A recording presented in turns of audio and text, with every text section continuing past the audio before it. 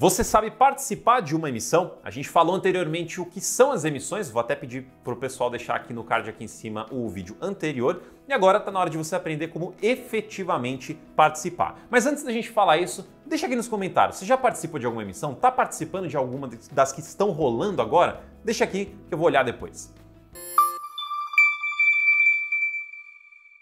Então, entendemos que uma emissão é o fundo querendo captar dinheiro novo. Mas para poder captar, o cotista, o investidor, precisa participar. E é isso que a gente vai falar aqui hoje. Quando um fundo abre uma emissão, abre o evento de captação de dinheiro novo, ele também abre um período específico para os cotistas, que são chamados períodos de preferência e os períodos de sobras, que também podem ser acompanhados pelo montante adicional. Chegaremos lá. Então esse pe grande período, né, vamos englobar aqui tudo, esse grande período são os períodos de preferência do cotista. Isso quer dizer que ele terá uma preferência de compra para comprar as cotas novas.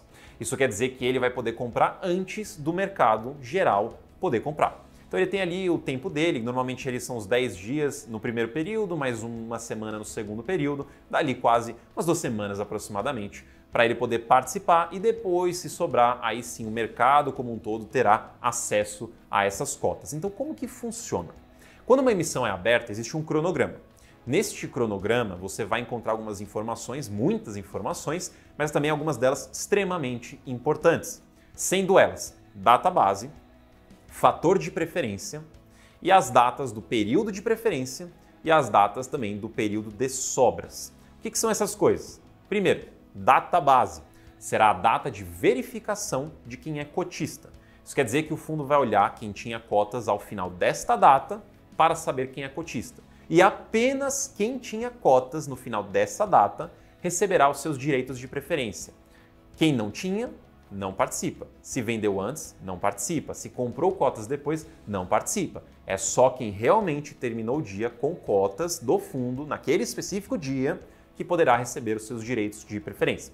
Os direitos de preferência nada mais são do que ali, ah, como se fossem cotas, são ali direitos, são tipo ingressos para você poder participar da emissão. Cada um direito permite você comprar uma cota na emissão durante o período de preferência. O outro aspecto importante é a proporção de preferência.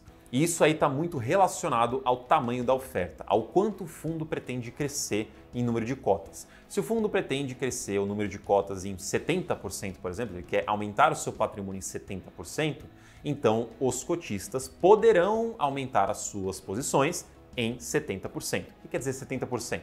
Quer dizer que se você tinha 100 cotas naquele dia específico, você poderá, se quiser, é opcional, subscrever 70 cotas novas nessa emissão. E você vai poder fazer isso nos períodos de preferência.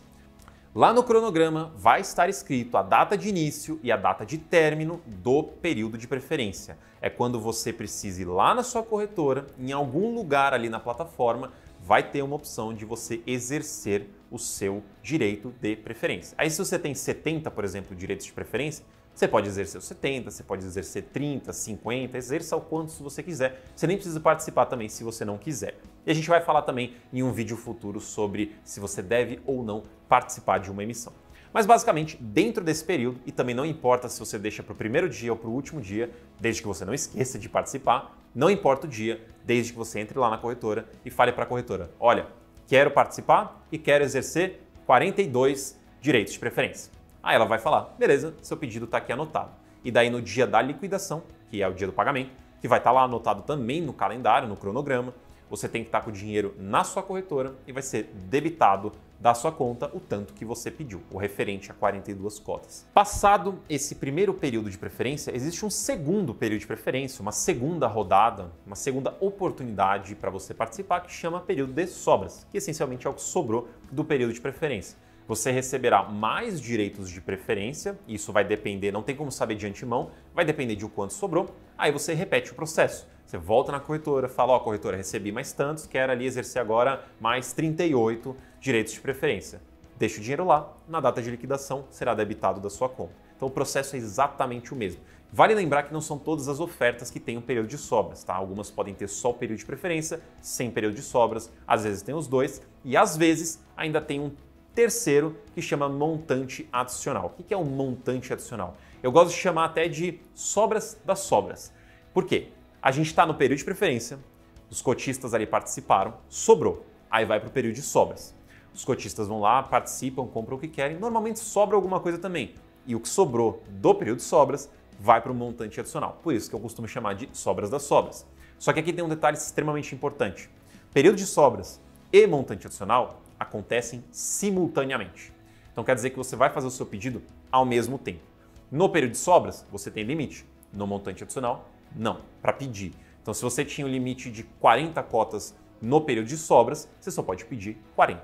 Mas se existe um montante adicional, aí você pode pedir o quanto você quiser. Então você pode pedir os 40 garantidos que você tem ali dos seus direitos de sobras, mais 340 cotas no montante adicional. Só que aqui tem um, também uma outra observação importante. Apesar de você não ter limite no pedido, não há garantia que você vai receber. No primeiro você tem limite no pedido, mas tem a garantia do recebimento. No segundo você não tem limite, mas também não tem garantia. O que isso quer dizer? Que você só vai receber se sobrar o suficiente para te atender. Então, se você pediu 340 e sobrou 340, você recebe 340.